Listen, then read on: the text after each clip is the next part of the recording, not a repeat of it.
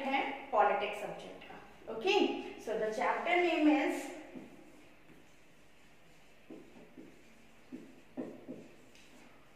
democracy शायद आपने इसका नाम बहुत बार सुना होगा कि हमारी जो गवर्नमेंट है, वो डेमोक्रेटिक है। हम डेमोक्रेटिक कंट्री में रह रहे हैं। कई बार ऐसे नाम न्यूज़ में आते रहते हैं। अक्सर या अपने आसपास अपने बड़ों को जब हम बात करते हुए देखते हैं तो हम इन इस वर्ड का उपयोग अक्सर देखते हैं कि लोग करते हैं। लेकिन आज हम इस क्लास में समझेंगे कि डेमोक्रेसी है क्या। अगर आप इसका हिंदी मीनिंग जानना चाहेंगे तो हिंदी में इसे बोलेंगे लोक तंत्र अभी भी आई थिंक आपको समझ में नहीं आया होगा ये तो हिंदी मीनिंग हो गई। तो इसको इस वर्ड की एग्जैक्ट मीनिंग समझने के लिए हमें करना है, इसे टू पार्ट्स में डिवाइड करना है ओके सो बेसिकली ये वर्ड आया कहाँ से है? So this word democracy is derived from the Greek words okay so ये दो ग्रीक वर्ड्स को मिला के बनाया गया है। So first word is demos and the second one is kratos, okay? So what the meaning in greek of demos the demos means okay and the kratos means the kratos means is government i hope yahan tak samajh mein aa gaya कि what is democracy in hindi meaning that is loktantra and if uh, we divided in a greek parts because ये जो democracy है ये greek word से लिया गया है so demos mean है people and kratos means government. तो अगर हम बात करें कि डेमोक्रेसी क्या है so a government of people okay so ऐसी गवर्नमेंट जो जनता की है, हिंदी में इसको क्या बोलेंगे पीपल को? जनता, क्योंकि हम पॉलिटिक्स पढ़ रहे हैं ना तो पॉलिटिक्स में जो अपने वर्ड है ना, यहाँ पे पीपल मीन्स होता है लोग कॉमनली है ना? लेकिन, क्योंकि हम पॉलिटिक्स पढ़ रहे हैं तो पॉलिटिक्स में जो वर्ड्स हैं, उनके अपने एक अलग मीनिंग है, अलग उनकी डिक्शनरी है। तो यहाँ गवर्नमेंट गवर्नमेंट मीन्स सरकार या शासन? सो so, शासन। अब हम बात करते हैं कि पीपल गवर्नमेंट तो इसका एक रूल है। सबसे इजीली अगर आप डेमोक्रेसी को समझना चाहते हैं तो इसका एक रूल है। रूल नंबर वन की एक डेफिनेशन भी है जो कि एक जो भी हमारे पॉलिटिशियंस हैं या उनके द्वारा दी गई है एक राइटर्स ने तो एक ये रूल है कि a government okay by the people by the people for the people and the last one is to the people अब सबसे इजीएस्ट वे है डेमोक्रेसी को समझने का। Understood by the people for the people to the people Hindi में by means द्वारा। ऐसी सरकार, ऐसा शासन जो लोगों के द्वारा किया गया है। फॉर मीन्स के लिए, यहाँ लिख भी देती हूँ मैं, द्वारा के लिए एंड उनके लिए। तो ऐसा शासन, ऐसी गवर्नमेंट ये अ गवर्नमेंट सब में है ओके सो ऐसा शासन या ऐसी गवर्नमेंट जो बाय द पीपल जनता के द्वारा फॉर द पीपल जनता के लिए एंड द लास्ट इज़ उन्हीं लोगों के लिए। So by the government understand for the government and the last is to the government आपको बस तीन चीज़ें याद रखनी है। By for and to so ये आपकी एक डेफिनेशन भी है, और ये डेमोक्रेसी को समझने का सबसे इजीएस्ट वे है। ऐसा शासन जो जनता के द्वारा, जनता के लिए, उनके हित के लिए किया जाता है। अब ये जो डेमोक्रेसी है डेमोक्रेट्स हैं इनको भी टू पार्ट्स में रखा गया है ओके?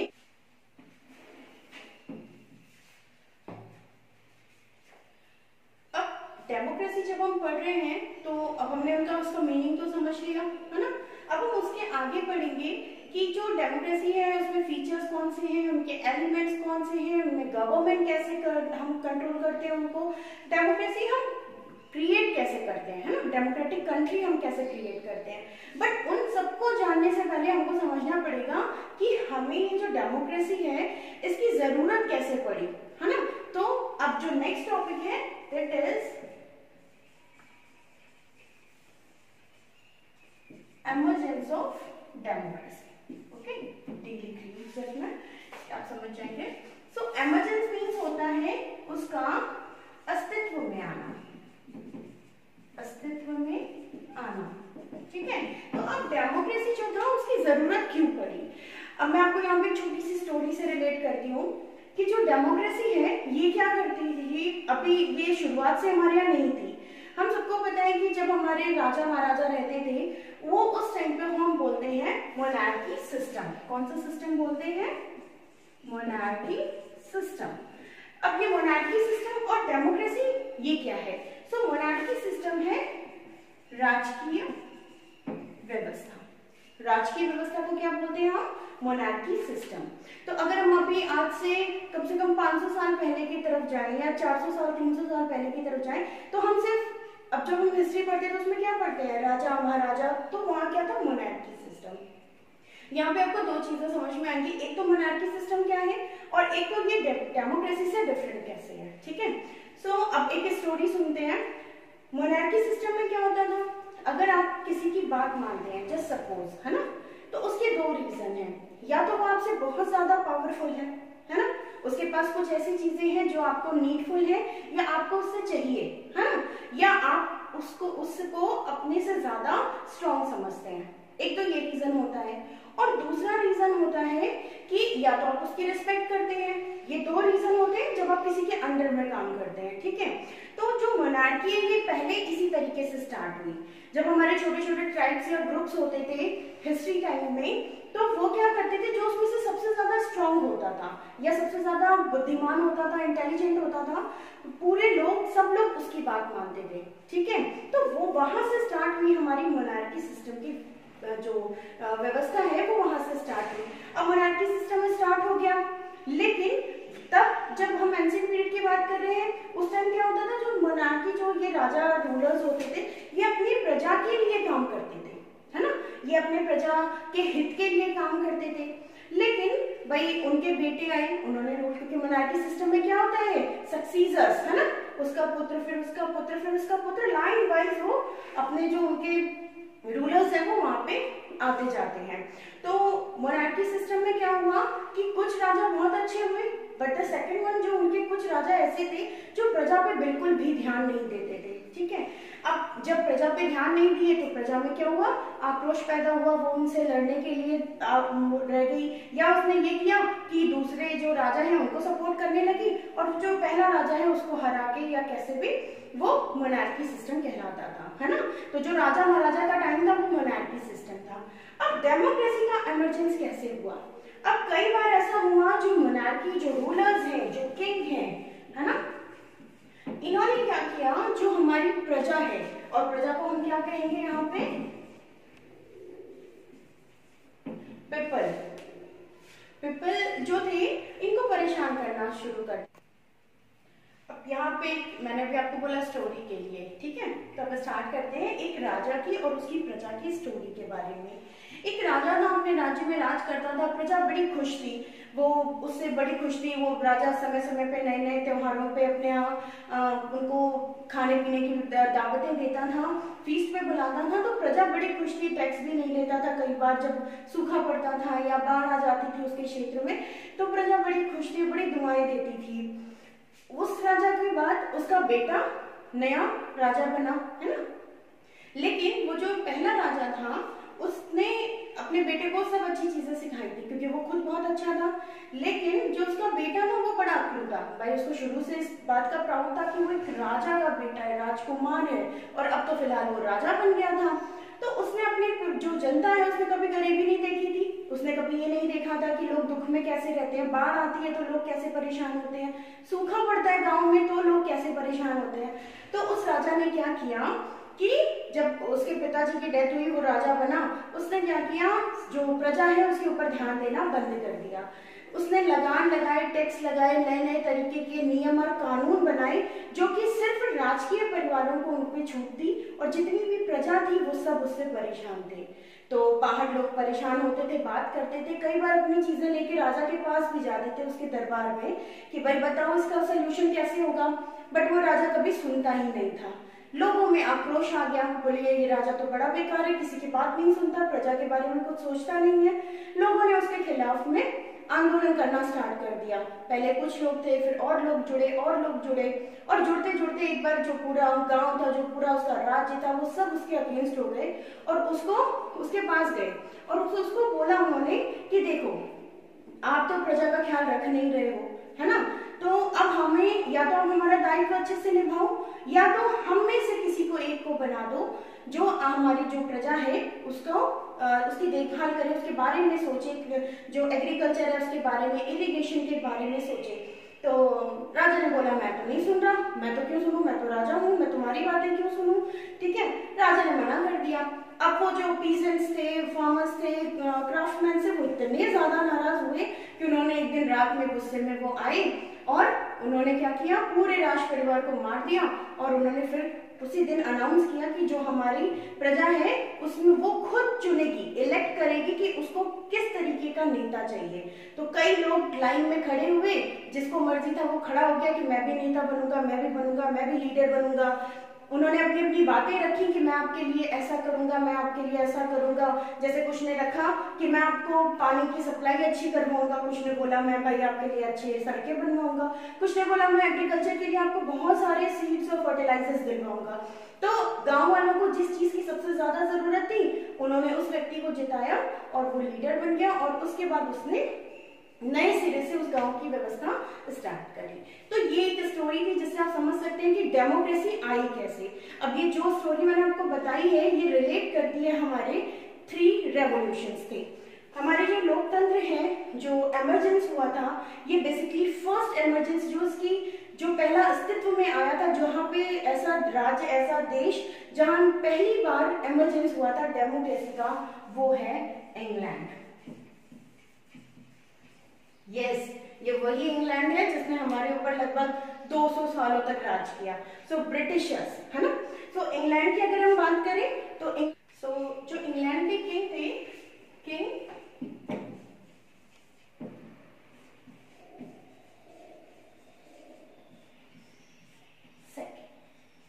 ठीक है? किंग जेम्स सेकेंड इन्होंने जो इनकी प्रजा थी, ये बहुत ही क्रूरल थे। तो इनकी जो प्रजा थी, इन्होंने सीधे मना कर दिया था कि हम आपको थ्रोन करते हैं, आपके सिंहासन से हम आपको हटाते हैं, हम आपका आज से आपकी जो बातें हैं वो मानना बंद कर देंगे, हम आपको राजा की तरह स्वीकार नहीं करते हैं। तो सबसे पहला जो रेवोल्यूशन हुआ था वो इंग्लैंड में हुआ था किंग जेम्स सेकंड के खिलाफ ओके अब उसके बाद लोगों ने क्या किया? Bill of rights bill the bill of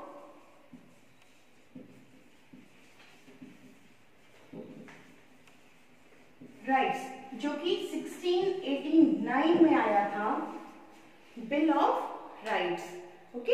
इसे इन्होंने बनाया और उस दिन से अपने यहाँ एक नया शासन, जिसको कि उन्होंने नाम दिया, डेमोक्रेसी स्टार्ट करा था। तो ये थी इंग्लैंड की कहानी, उनके किंग जेम्स सेकंड के खिलाफ जो उनके ब्रिटिशर्स पीपल जो उनकी जनता थी, ब्रिटिश, उन्होंने उनके खिलाफ एक नया आंदोलन स्टार्ट किया, जो कि बिल ऑफ़ राइट्स नया डेमोक्रेटिक कंट्री बन के सामने आया और एक नया बिल पास किया the bill of rights in 1689 में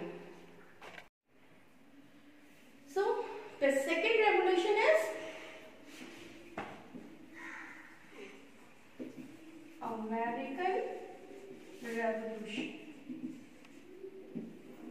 ये रेवोल्यूशन चला 1775 to 1781 okay 1775 to 1781 can say 80 तक ओके अब ये अमेरिकन रेवोल्यूशन क्यों हुआ इंग्लैंड का तो हमें पता चल गया जो किंग था वो अपनी प्रजा पे ध्यान नहीं देता था वो उनको अलग अलग तरीके से उनको क्रूवल था वो बहुत ज़्यादा उनको दंड बहुत कड़े देता था छोटी छोटी चीज़ों पे अब अमेरिकन रेवोल्यूशन क्यों हुआ अमेरिकन रेवोल्यूशन एग्जैक्टली हुआ था क्योंकि जो वहाँ के मूल निवासी हैं जिनको हम निक्रोस कहते हैं है ना जो बिल्कुल बेहद ही काले रंग के होते हैं और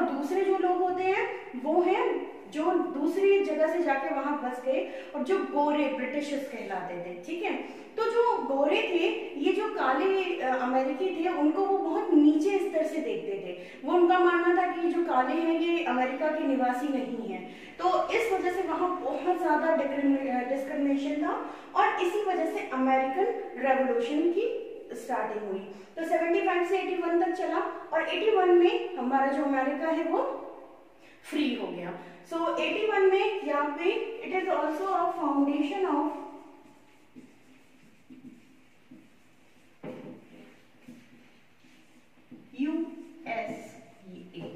United States of America और इनका स्लोगन था कि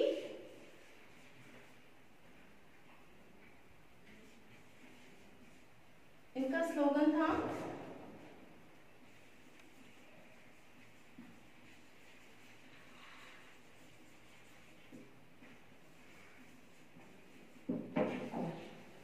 इनका मानना था, जो यहाँ के रेवोल्यूशनरीज थे, उनका मानना था कि जब भगवान ने इंसान को बनाने में क्रिएट करने में कोई भी डिस्क्रिमिनेशन नहीं किया है, एक जैसा बनाया है तो आप रंग के आधार पर उन्हें अलग अलग दो भागों में नहीं बांट सकते।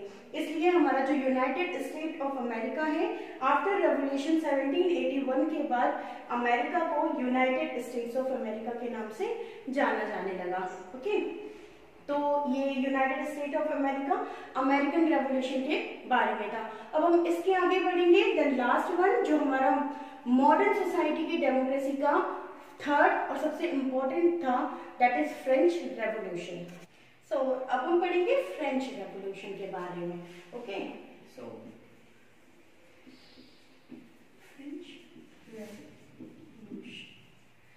फ्रेंच रेवोल्यूशन इतना इम्पोर्टेंट है आपके लिए कि आप अभी तो पढ़ ही रहे हैं, फिर आप इसको नाइन्थ और टेंथ में भी एक बार रिवाइज करेंगे और काफ़ी लेंदी वे में, पूरा एक चैप्टर ही है आपका फ्रेंच रेवोल्यूशन के बारे में। ओके सो अभी हम एक छोटे से पैराग्राफ में इसको पढ़ते हैं, क्योंकि सेवेंथ में इसमें बहुत ज़्यादा समझने को नहीं है। तो ये जो फ्रेंच रेवोल्यूशन है, ये मॉडर्न सोसाइटी का।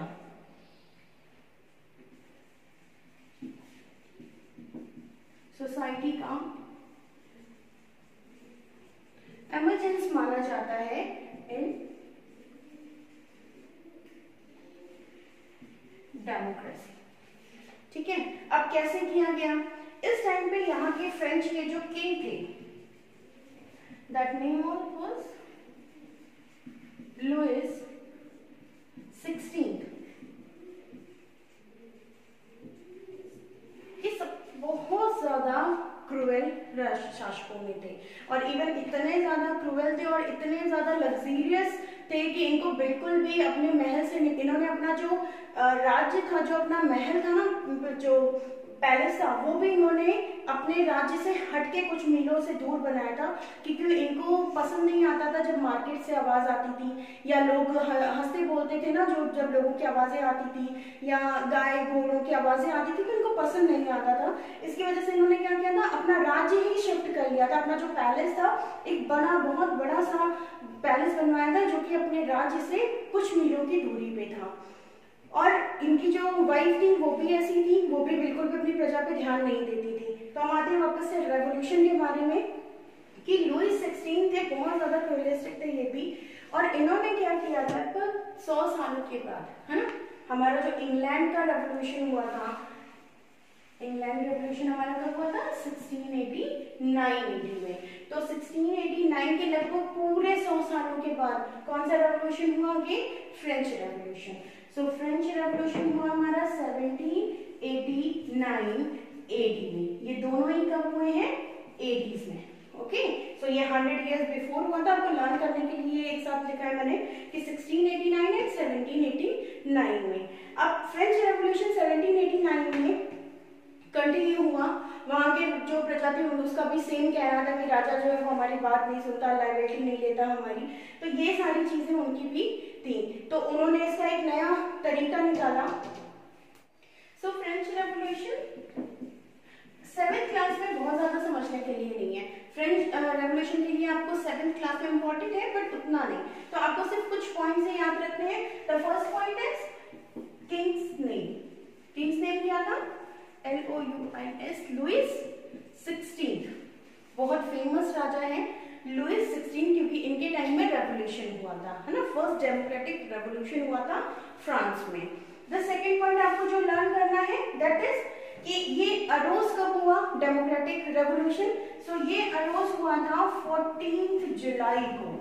Fourteen July this is most important date for learning fourteen of July in seventeen eighty nine अगर आपको याद हो तो मैंने अभी नीचे भी बताया था कि इंग्लैंड कब किया है? 1689 में। एंड द फ्रांस 1789 में। सो so, ये बहुत इंपॉर्टेंट डेट्स है both okay so England first था और फ्रेंच मॉडर्न डेमोक्रेसी का, लगभग यहाँ से मॉडर्न डेमोक्रेसी की जो रेवोल्यूशन थे वो स्टार्ट हो गए थे ऑल ओवर द वर्ल्ड में. Okay so 14 July 1789 is the most important day the third one आपको इसमें क्या लर्न करना है? कि जो 14 जुलाई से स्टार्ट हो गया था तो इन्होंने एक नेशनल असेंबली बनाई थी.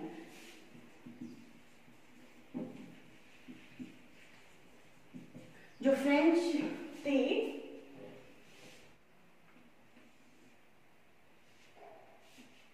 सो नेशनल असेंबली बनाई इन्होंने, ठीक है?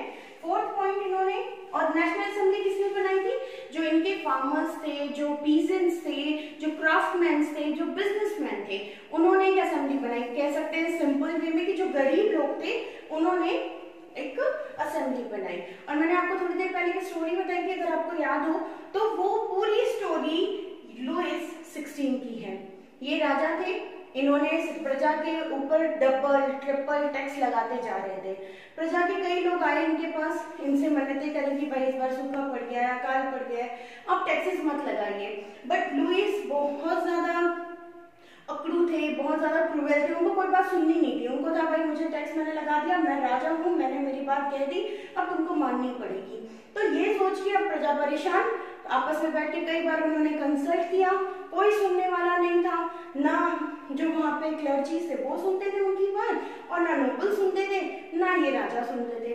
तो इन्होंने फाइनली फोर्टीन ऑफ़ जुलाई 1789 को एक असेंबली बनाई। उस असेंबली का नाम था नेशनल असेंबली ओके अब ये नेशनल असेंबली बन तो गई, इसको फॉर्म होने में पूरी नेशनल असेंबली को टाइम लगा। 1789 टू 1791 80 तक का। Okay okay? 89 से 91 तक इन्होंने असेंबली बनाई। बार बार कोशिश करी कि वो राजा से बात करे, बहुत चीज़ें कोशिश करी बट कुछ भी इनके आगे नहीं आया। कुछ भी इनको उसके लिए रिजल्ट्स नहीं मिले। लास्ट में for fifth most important point है इनका स्लोगन इन्होंने एक स्लोगन दिया था, वही होता है ना मोटिवेट करने के लिए स्लोगन हमारे लीडर्स ने बहुत सारे स्लोगन दिए।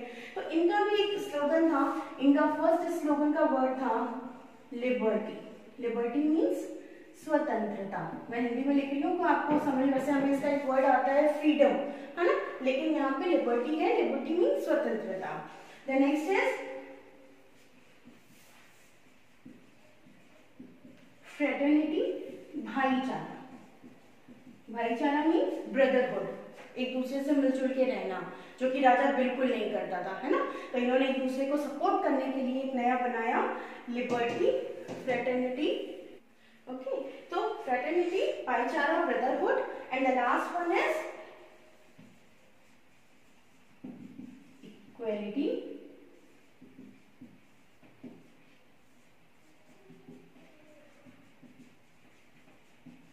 बराबर का अधिकार। मतलब जो राजा है, उनके लिए भी सेम नियम, जो प्रजा है, उसके लिए भी सेम नियम। जैसे अभी होता है ना, हमारे डेमोक्रेटिक कंट्रीज़ में क्या होता है? अगर कोई गरीब इंसान चोरी करे, उसके लिए भी वही सजा है। अगर कोई मिडिल क्लास व्यक्ति चोरी करे, उसके लिए भी वही सजा है। और अगर कोई लीडर या कोई अभिनेता नेता कोई बिजनेसमैन कितना भी बड़ा आदमी क्यों ना हो, वो चोरी करे, उसके लिए सेम सजा है। तो इन्होंने इन्हीं तीन चीज़ों को लेके अपना नेशनल असेंबली का गठन किया था 1789 से 1791 एडी तक।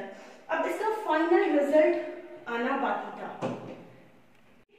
अब रेफरेंस रेवोल्यूशन हो गया, ठीक है? उन्होंने 1789 से 91 तक अपनी असेंबली भी बना ली।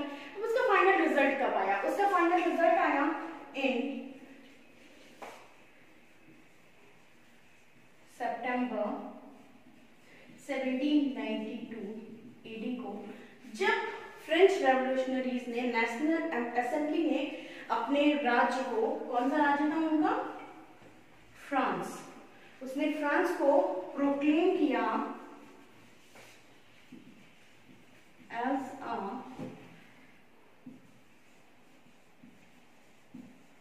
रिपब्लिक सो ये कुछ इंपॉर्टेंट डेट्स थी जो आपको ज़रूर याद करनी है और एक चीज़ है कि ये जो चीज़ें आ रही हैं, ये सारे कॉम्पिटेटिव एग्ज़ाम्स में भी पूछी जाती हैं। मोस्टली फ्रेंच रेवोल्यूशन तो बहुत बार आता है कंटिन्यूसली कई बार आता है।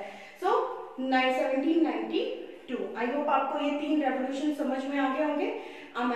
England America and the last one is French revolution अब रेवोल्यूशन तो हमें समझ में आ गए. हमें ये भी समझ में आ गया कि जो डेमोक्रेसी है उसका एमरजेंस कैसे हुआ? लोगों के मन में क्या भाव आए कि उन्होंने लोकतंत्र को अप, अपनाना चाहा और मोनार्की सिस्टम को उन्होंने कहा भाई टाटा बाय बाय अब बस खत्म करो राजशाही ओके सो so, उसके बाद अब उसको फैलाने के लिए उन्होंने बहुत सारे रूल्स रेगुलेशन बनाए। क्योंकि जबकि हम बात कर रहे हैं ना 1789 की 1689 की तब इतनी पॉपुलेशन नहीं हुआ करती थी। लेकिन फिर भी एक बार वोटिंग इलेक्ट करना ये फिर भी बहुत मुश्किल होता था। तो इन लोगों ने क्या किया? 1920 एटीन सेंचुरी के बाद जब इंग्लैंड रेवोल्यूशन हमारा स्टार्ट हो गया था उसके बाद जगह जगह छोटे छोटे जो जगह थी पूरे वर्ल्ड में हर जगह नए नए तरीके से रेवोल्यूशन होने लगे नई नई चीज़ों पे। तो अब एक नया फॉर्म आया जो कि ट्वेंटी नाइनटीन सेंचुरी में आ गया था वो आया यू ए और एफ़ अब ये यू ए एफ़ क्या है? सो so, यू से है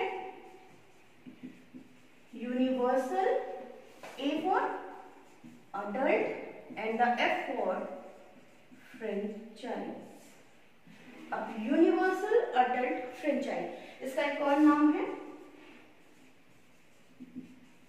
यूनिवर्सल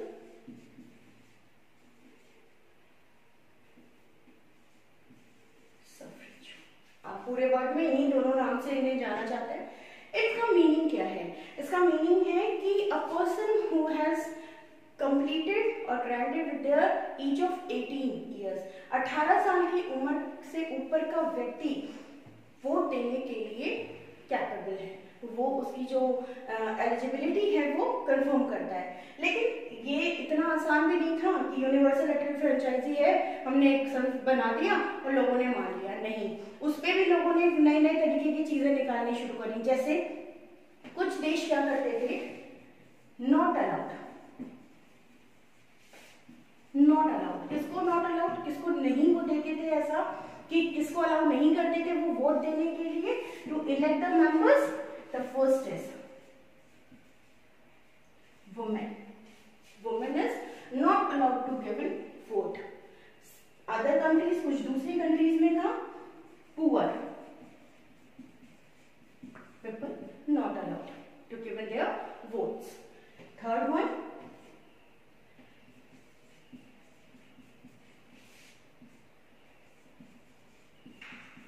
ये स्पेशली अमेरिका के लिए था ब्लैक पीपल जो वहाँ के निग्रोस थे मैंने आपको अभी अमेरिकन रेवोल्यूशन में भी इसके बारे में बताया था तो उनको अलाउड नहीं था शुरुआत में यूनिवर्सल अटल फ्रेंचाइजी के थ्रू कि वो वोट दे सके। लेकिन इसमें धीरे धीरे डेवलपमेंट्स किए गए, दूसरी कंट्रीज़ ने इसको और सराहा और इसको अच्छा बनाने के लिए उन्होंने सिर्फ़ एक नियम, एक रूल रखा। इन सबको खत्म करते हुए the rule is only the person is above of 18 years एक व्यक्ति जो 18 साल से ऊपर की उम्र का हो, चाहे वो गरीब हो, अमीर हो मैन हो वुमेन हो वो ब्लैक हो व्हाइट हो उसे कोई किसी भी प्रकार की डिसेबिलिटी हो किसी भी तरीके से सिर्फ़ एक रूल फॉलो किया गया 18 इयर्स अबव पर्सन और ये रूल आज भी यूनिवर्सल अडल्ट फ्रेंचाइजी में मान्य है ओके सो so, सबसे पहला कौन सा देश है जिसने यूनिवर्सल अडल्ट फ्रेंचाइजी को अडॉप्ट किया था? कौन सा है? यस फ़र्स्ट कंट्री जिसने इसे अडॉप्ट किया था फ्रीली माइंडेड से, जिसने कोई भी और अलग तरीके की डिस्क्रिमिनेशन न रखते हुए अपने रूल को फॉलो किया था। कौन सा रूल है? अभी आपको बताया था। Yes only the getting the above 18 years old है ना? ये 18 साल से ऊपर के अगर आप हैं तो आप यूनिवर्सल अडल्ट फ्रेंचाइजिंग में आते हैं। इट मींस कि आप इस क्राइटेरिया को फॉलो करते हैं पास कर लेते हैं और आप वोट डालने के लिए, अपनी गवर्नमेंट को इलेक्ट करने के लिए आप कैपेबल हैं। ठीक है? तो फ़र्स्ट कंट्री जिसमें से अडॉप्ट किया था, बिल्कुल खुले मन से, वो थी न्यूजीलैंड और उसमें से अडॉप्ट किया था in 1873 please learn it in 1873 देखिए, जितनी भी डेट्स हैं, है ना, ये बहुत इंपॉर्टेंट है और जितने भी टॉपिक्स फ़िलहाल मैंने लिया मैंने बहुत ज़्यादा लेंदी करने की कोशिश नहीं की, आप बोर हो। टॉपिक टू टॉपिक पढ़ाया इसलिए जितनी भी चीज़ें ये सब इंपॉर्टेंट है। So the first country New Zealand जिसने 1873 में यूनिवर्सल अडल्ट फ्रेंचाइजी को अडॉप्ट किया था। एंड हमारे इंडिया के बारे में हम इंडियन डेमोक्रेसी पढ़ रहे हैं तो हम इंडिया के बारे में ज़रूर पढ़ेंगे। तो हमारे इंडिया ने कब किया था इसे? अडॉप्ट हमारा कॉन्स्टिट्यूशन जो बन के तैयार हुआ था, उसके बाद 1950 में। सो यूनिवर्सल एडल्ट फ्रेंचाइजी के बारे में हमने पढ़ लिया रेवोल्यूशन के बारे में पढ़ लिया इनमें हमने ये सारी चीज़ें पढ़ी हैं। अगर एक बार आपको क्विकली रिवाइज करवा दूँ मैं मीनिंग ऑफ़ द डेमोक्रेसी याद है क्या? यस डेमोक्रेटोस है ना? Government for the people by the people to the people emergency of the democracy कैसे हुआ था? क्यों ज़रूरत पड़ी हमें डेमोक्रेसी की? क्योंकि हम तंग आ गए थे मोनार्की सिस्टम से। The next is England revolution क्यों हुआ था? जेम्स सेकंड है ना? याद आया? जेम्स सेकंड जो ब्रिटिश रूलर था इंग्लैंड का, बहुत ज़्यादा क्रूवल था और लेजी था, जिससे प्रजा बिल्कुल भी खुश नहीं थी। तो उसकी वजह से इंग्लैंड में रेवोल्यूशन आया। कब आया? 1689 में। ओके बिल ऑफ़ राइट्स है ना? 1689 में क्या हुआ था? बिल ऑफ़ राइट्स वैसे जो रेवोल्यूशन था वो 1688 में आया था. बट जो बिल ऑफ़ राइट्स था the bill of rights of for paper ये जो बिल था, ये जो अधिवक्त आया था, ये आया था 1689 में. फिर एक बार से अमेरिकन रेवोल्यूशन American Revolution? 81, तक. And then French Revolution? 17,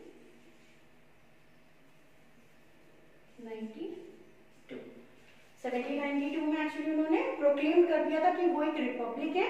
उनके यहाँ कोई भी किसी भी प्रकार का कोई राष्ट्रीय या मोनार्की सिस्टम नहीं है। द रिज़ल्ट ऑफ़ रेवोल्यूशन क्या रिज़ल्ट आए थे रेवोल्यूशन के? कि डेमोक्रेटिक जो मोनार्की सिस्टम था, वो लगभग खत्म किया जा रहा था और डेमोक्रेटिक कंट्रीज़ बनती लोकतंत्र, जमता जा रहा था। यूनिवर्सल अडल्ट फ्रेंचाइजी इसमें क्या है? जो लोग 18 साल से अबव हैं ईयर्स के हैं, वो इलेक्ट कर सकते हैं अपनी डेमोक्रेटिक कंट्रीज़ को।